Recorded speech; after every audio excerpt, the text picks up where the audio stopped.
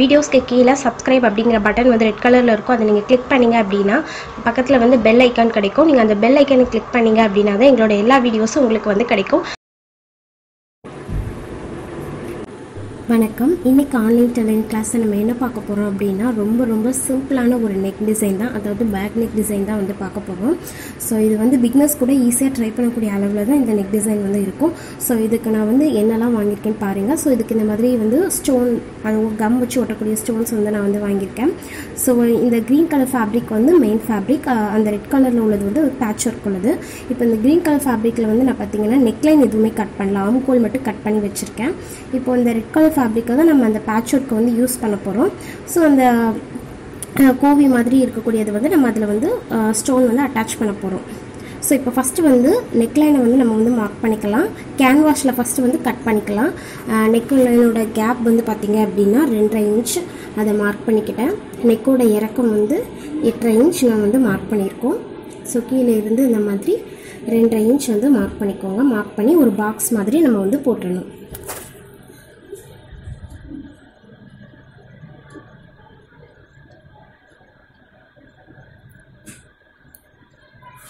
So இப்போ என்ன செய்ய போகிறோம் அப்படின்னா ஃபஸ்ட்டு வந்து இந்த மாதிரி ஃப்ரெஞ்ச் கவ் வச்சுட்டு நம்ம வந்து ஒரு நார்மல் பாட் நெக் மாதிரி தான் ஆனால் இது கொஞ்சம் அந்த ஷார்ப்பாக கொண்டு போய் எட்ஜை வந்து முடிக்க போகிறோம் ஸோ இந்த மாதிரி ஆம்கோல் கவ் வச்சுட்டு நீங்கள் நெக்லைன் வரைஞ்சிங்க அப்படின்னா இன்னும் கொஞ்சம் உங்களுக்கு ஈஸியாக இருக்கும். ஸோ பாட் நெக் தான் பட் ரொம்ப டீப்பாக இல்லாமல் ஓரளவு கொஞ்சம் ஷார்ப்பாக கொண்டு போய் கீழே வந்து முடிக்க போகிறோம் ஸோ இந்த மாதிரி இன்னர் லைன் வந்து நம்ம வந்து வரைஞ்சாச்சு. இப்போ இதுக்கு அடுத்து வந்து நம்ம நார்மலாக கேன்வாஷில் வந்து நெக் டிசைன் சேமாக எப்படி வரைஞ்சிருக்கோமோ அப்படி வரைவோம். இது அந்த மாதிரி வரையாமல் அந்த கர்வ் பாட்டு வச்சு திருப்பி ஒரு கர்வ் அப்புறம் கீழே ஒரு ட்ரையாங்கிள் அந்த மாதிரி வந்து வரைய போகிறோம் ஸோ ஒரு தடவை நீங்கள் வந்து இந்த மாதிரி ஃப்ரீ ஹேண்டாகவும் நீங்கள் வந்து வரையலாம். அப்படி இல்லை அப்படின்னா நீங்கள் ஆம்கோல் கவ் வச்சு கூட நீங்கள் யூஸ் பண்ணி நீங்கள் வரையலாம். நீங்கள் ஃப்ரீ ஹேண்டாக வரையணும்னா ஒன்று ரெண்டு தடவை நீங்கள் ப்ராக்டிஸ் பண்ணி பார்த்தீங்க அப்படின்னா உங்களுக்கு வந்து சரியாக வந்து வரும். இந்த மாதிரி கொஞ்சம் நான் வந்து இதுக்குன்னு ஒரு பர்ஃபெக்ட் மெஷர்மெண்ட்லாம் எதுவும் இல்லை. நான் சும்மா அப்படி ஃப்ரீ ஹேண்டாக நான் வந்து வரைஞ்சிருக்கேன்.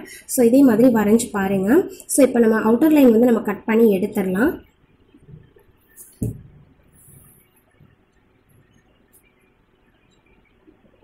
ஸோ இப்போ இன்னர் லைன் அந்த சின்ன பாட் நெக் மாதிரி வந்துட்டு வரைஞ்சிருப்போம்ல அதை நம்ம கரெக்டாக வந்து கட் பண்ணி எடுத்துடலாம்.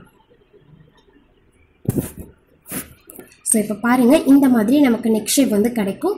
ஸோ இதை வந்து ரெட் கலர் ஃபேப்ரிக்கில் நம்ம அப்படியே ப்ளேஸ் பண்ண போகிறோம் அதுதான் நம்ம பேட்ச் ஒர்க்கு பண்ணக்கூடியது. அதில் வந்து ப்ளேஸ் பண்ணிட்டுக்கோங்க.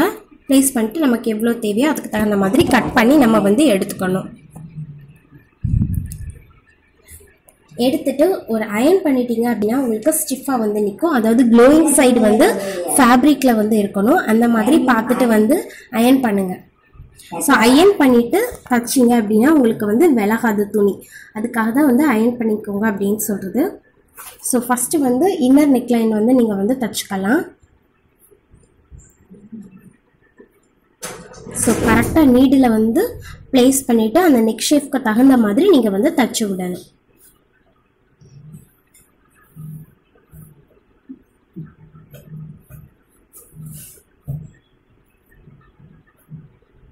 ஸோ இப்போ இன்னர் லைன் தச்சாச்சு இப்போ அவுட்டர் லைன் வந்து டச் விடணும்.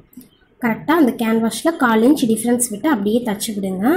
நிறைய பேர் வந்து வாட்ஸ்அப்பில் வந்து கேட்டிருந்தாங்க எல்லாருமே ஈஸியாக வந்து தைக்கிற அளவுக்கு ஒரு சிம்பிள் நெக் டிசைன் வந்து சொல்லிக் கொடுங்க அப்படின்னு சொல்லி சொல்லியிருந்தாங்க.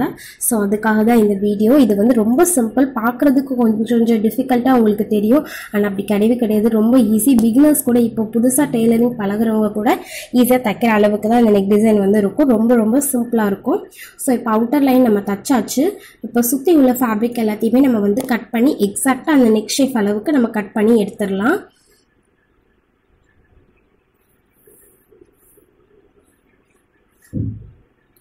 கரெக்டாக அந்த ஷேப்க்கு தகுந்த மாதிரி கட் பண்ணி எடுத்துக்கோங்க. ஸோ இதில் வந்து நம்ம இப்போ கட் பண்ணி எடுக்கிறோம். கட் பண்ணாமல் கேன்வாஷை உள்ளே திருப்பி தைக்கிற மெத்தடும் இருக்குது நான் அதை இன்னொரு நெக் டிசைனில் நான் உங்களுக்கு அது எப்படி அப்படின்னு சொல்லித்தரேன் அதில் வந்து உங்களுக்கு இந்த ஸ்டிச்சஸ் வந்து வெளியில் தெரியாது.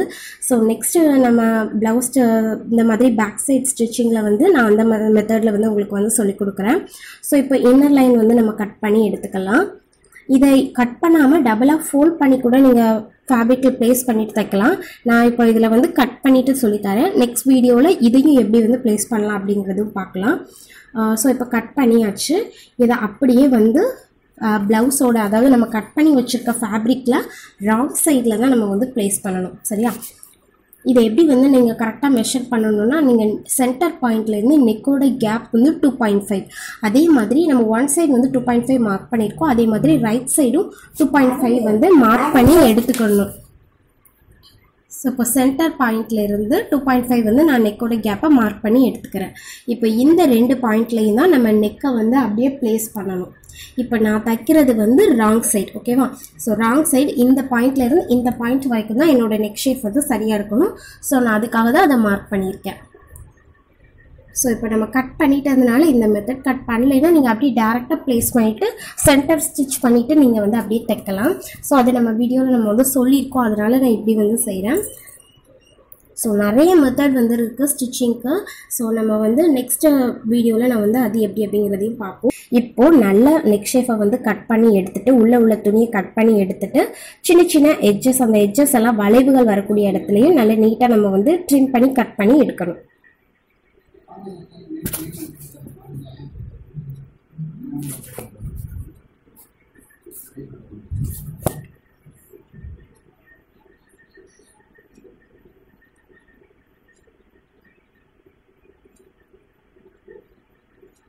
ஸோ இப்போ அந்த வளைவுகள் வரக்கூடிய இடத்துலலாம் நல்ல டீப்பாக வந்து கட் பண்ணிங்க. அப்படின்னா தான் பார்க்குறதுக்கும் அழகாக இருக்கும். டீப்பாக இருக்கும்போது அந்த ஷேப் வந்து உங்களுக்கு நெக்ஸ்ட் ஷேப் வந்து சரியாக கிடைக்கும். ஸோ எக்ஸஸாக இருக்க துணியை ஃபுல்லாக நல்லா ட்ரிம் பண்ணி நல்லா கட் பண்ணிடுங்க அப்படின்னா தான் அந்த ஷேப் வந்து பார்க்குறதுக்கு சரியாக இருக்கும். அதுக்காக தான்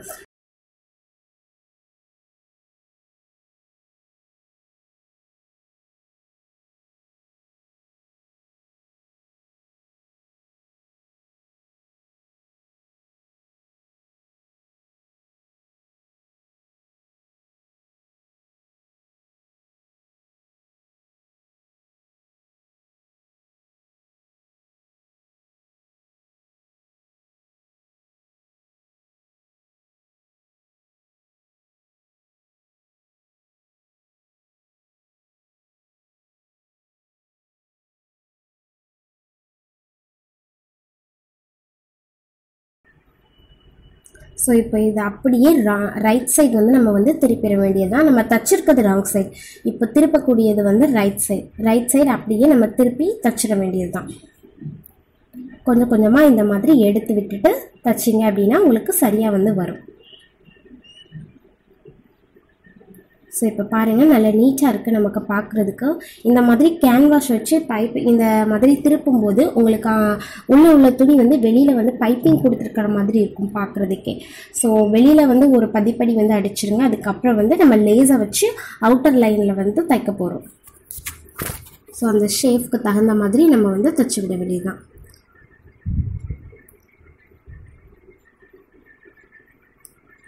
ஸோ இந்த லேசர் இதே மாதிரி வந்து கேர்வாக வரக்கூடியதுக்கு வந்து நம்ம நல்லா மூவ் ஆகக்கூடிய லேஸ் அதாவது ஈஸியாக வந்து மடக்கிற மாதிரி லேஸ் தான் பார்க்குறதுக்கு அந்த ஸ்டிச் பண்ணுறதுக்கு உங்களுக்கு அந்த ஷேப் வந்து சரியாக வரும்.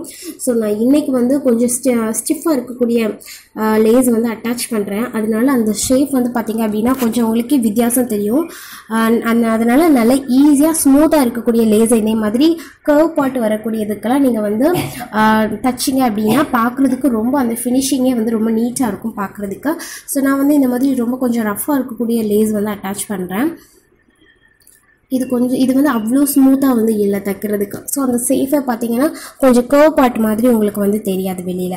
ஸோ இதே மாதிரி தைக்கும்போது லேஸாக நீங்கள் பார்த்து வந்து சூஸ் பண்ணிக்கோங்க. அப்படின்னா தான் அழகாக இருக்கும் பார்க்குறதுக்கு ஸோ இப்போ நம்ம ஆல்மோஸ்ட் வந்து ஃபினிஷ் பண்ணியாச்சு. இப்போ இதுக்கு மேலே வந்து அந்த சின்ன சின்ன- சின்ன கோபி ஸ்டோன்ஸ் இருக்குல்ல அது வந்து அப்படியே வந்து நம்ம வந்து ஸ்டிக் பண்ணிடலாம். அது வந்து ஒட்டுற மாதிரி தான் இருக்கும். ஸோ அப்படியே நம்ம வந்து ஒட்டிடலாம்.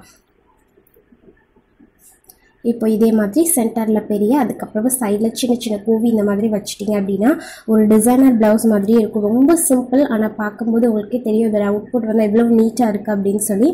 ஸோ இந்த மாதிரி வந்து டிசைனர் ப்ளவுஸ் வந்து கொஞ்சம் கொஞ்சமாக ப்ராக்டிஸ் பண்ண ஆரம்பிங்க. பிகினர்ஸாக இருந்தால் கூட கொஞ்சம் கொஞ்சமாக நீங்கள் வந்து ட்ரை பண்ணுங்கள் இதே மாதிரி கண்டிப்பாக எல்லாருக்கும் யூஸ்ஃபுல்லாக இருக்கும் அப்படின்னு நினைக்கிறேன். எல்லாருக்கும் புரியணும் அப்படிங்கிறதுக்காக தான் இவ்வளோ டீட்டெயிலாக வந்து சொல்கிறது ஸோ இந்த வீடியோ உங்களுக்கு பிடிச்சது அப்படின்னா லைக் பண்ணுங்கள் ஷேர் பண்ணுங்கள் ஏதாவது டவுட் இருந்தால் கமெண்ட் பண்ணுங்கள் அதுக்கு முன்னாடி மறக்காமல் நம்ம சேனலை சப்ஸ்கிரைப் பண்ணுங்கள் வேறு ஒரு வீடியோவில் மீட் பண்ணலாம். நன்றி.